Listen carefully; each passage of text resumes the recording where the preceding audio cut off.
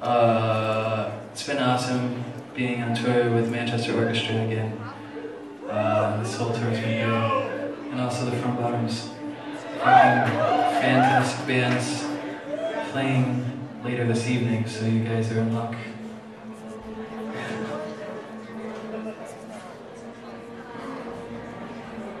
This is our last song.